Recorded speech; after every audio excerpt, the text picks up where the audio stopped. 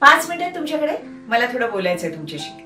अहंकाराच्या राक्षसाचं जेव्हा शिंग वर येतं तेव्हा सुख जखमी होऊन दुःख भळभळत राहतं. तुटे वाद संवाद त्या ते म्हणावे विवेके अहं भाव या ते जिणावे.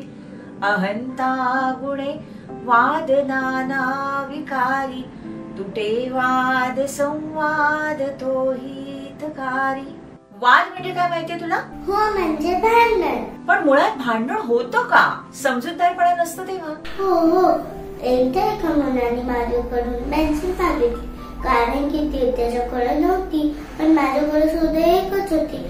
म्हणून मी त्याला नाही दिली. तर त्याने माझ्याशी कट्टी घेतली. अरे छा पण तुझ्याकडची एकच पेन्सिल तू त्याला दिली असतीस तर मग तू कशाला लिहिणार? हे त्याला कळायला हवं होतं ना. पण नाही फक्त स्वतःपुरता विचार करायचा. याला म्हणतात स्वार्थीपणा. आणि मी म्हणतो तेच बरोबर. तुझं काय म्हणणं ते मी ऐकूनच घेणार नाही. ह्याला म्हणतात अहंकार. अशा माणसाचं कोणाशी पटत नाही. कारण ते समोरच्याचं म्हणणंच ऐकून घेत नाही. तो समोरचा माणूस तसं का वागतोय? ह्याचं कारण समजून घेतलं ना तर मग वाद होणं टळेल. खरंय तुमचं. कधी कधी एखाद्या महत्त्वाच्या कामासाठी एखादी मीटिंग असते एखादा झुमकॉल ठरलेला असतो आणि एखादी व्यक्ती ती जॉईन करत नाही तेव्हा पटकन वाटतं किती बेजबाबदार माणूस आहे. पण कदाचित ती व्यक्ती अपघात आजारपण अशा एखाद्या विचित्र प्रसंगामध्ये अडकलेली असू शकते. म्हणूनच एखाद्याविषयी वाईट मत बनवण्यापूर्वी त्याच्या अशा वागण्यामागचं कारण समजून घेणं गरजेचं आहे हे तुमचं म्हणणं मला पटतंय. हो पण या निमित्ताने एक महत्वाची गोष्ट सांगू इच्छिते.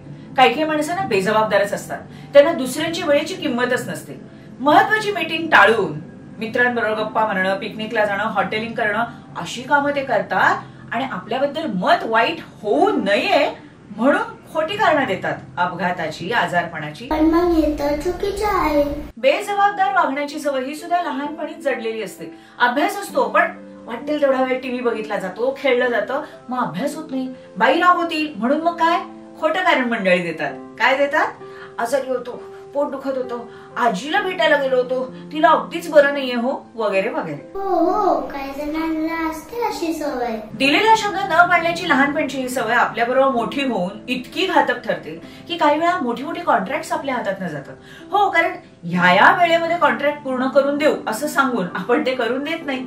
त्यामुळे समाजामध्ये आपली नाचक्की होते आणि पुढची कॉन्ट्रॅक्ट सुद्धा आपल्याला मिळत नाही. नोकरी करत असताना बॉसला आपण सांगितलेलं असतं ह्या या वेळेत काम पूर्ण करून देईन. पण आपण ते पूर्ण करून देत नाही. आणि मग काही काही वेळेला तर नोकरी जाण्याची सुद्धा वेळ येते. थोडक्यात काय? वाद होऊ नये म्हणून संवाद साधावा आणि त्याच्यासाठी समजूतदारपणा असावा. हे रामदास स्वामींनी सांगितलं आहे पण याचा अर्थ असा अजिबात नाही की तुम्ही खोटारडेपणा करावा आणि तरी देखील समोरच्याने समजून घ्यावं. असं समजून घेतलं जात नाही. हे ह्या निमित्तानं ठळकपणे मला सांगावं असं वाटतंय. गौरी आणि संध्या दोघी सख्या मैत्रिणी. गौरीचे भाषाविषय उत्तम तर संध्याचे गणित आणि विज्ञान. दोघी एकमेकींना अभ्यासात मदत करायच्या म्हणूनच दोघींनाही दहावीमध्ये खूप छान मार्क्स मिळाले. पण रिझल्टच्या दिवशी त्यांची एक मैत्रीण पहिल्यांदा संध्याकडे गेली आणि तिला म्हणाली की खरं म्हणजे तुझ्यामुळे गौरीला खूप छान मार्क्स मिळाले. त्यावर संध्याने उत्तर दिलं की अगं हो पण मला गौरींनी भाषाविषयी शिकवलं की आणि त्यामुळे मला त्यात चांगले मार्क्स मिळाले. त्यावर ती मैत्रीण पुढे गौरीकडे गेली. आणि तिला म्हणाली की संध्या म्हणत होती तिच्यामुळे तुला चांगले मार्क्स मिळाले. हे ऐकून गौरीला मात्र खूप वाईट वाटले. आणि तिने संध्याचे असलेले सगळे संबंध तोडले. हाच तो अहंकार.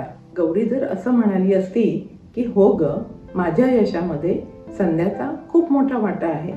तर गौरी आणि संध्याची मैत्री सुद्धा तुटली नसती आणि गौरीला वाईट सुद्धा वाटलं नसतं.